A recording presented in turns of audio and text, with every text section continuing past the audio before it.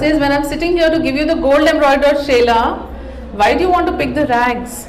Similarly, when he's sitting here, why should I cry? Crying is like rags. Begging is like rags. Yeah, beggars are in rags, right? If you're sitting and begging, oh Baba, do something, I'm in pain, that is rags for me. But he's there to give you the gold embroidered shela. How will you get that shawl from him? By having that faith. So when you're in pain, chant so much, pray so much, read the Satcharita with such passion and madness and tell him, I will also see till when you challenge me. You are going through your pain. The soul is growing. You are evolving. A good time is going on. That is why you are being guided to do good also.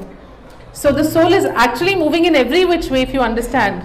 One side he is guiding you, he is testing you. The other side he is making you stronger. Again the Satcharita says, in the Kalyug, which is the easiest way to reach Baba? Chanting his name and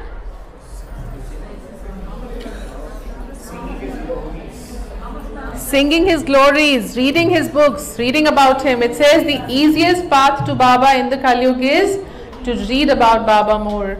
So when we are doing Parayan, what are we doing? We are cleansing away karma and moving on the onward journey. So just by doing Parayan, just by reading, just by taking his name, all of that is ha happening. But I'm telling you as a challenge today, when we are going through happy times, the best of people also forget to chant the nicest of people, the humblest of people who love Baba also forget to pray because you are so happy that you don't need to go to him and say thank you.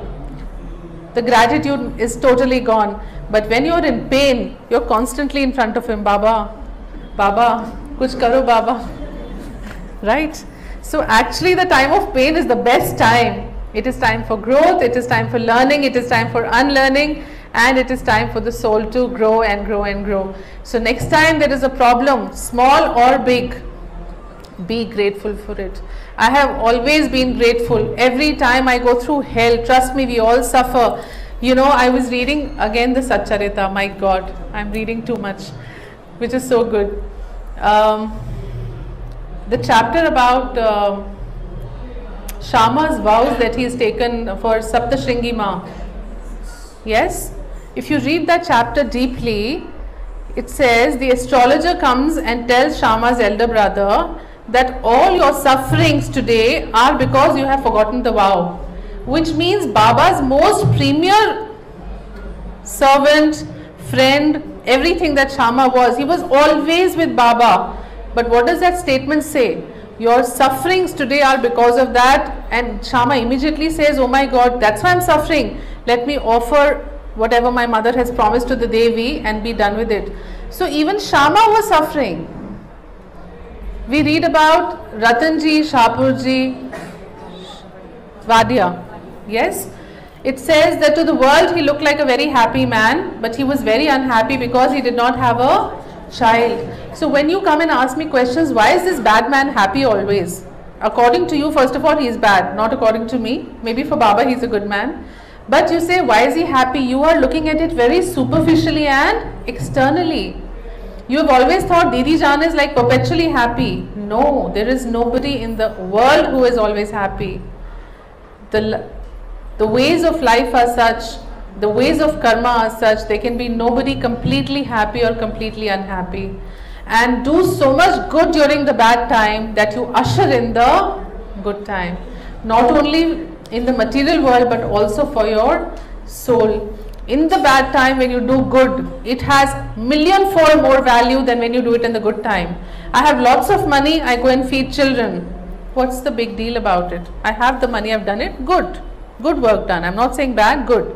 I don't have the money, still I have gone and fed two children. That is good. Very, very, very good.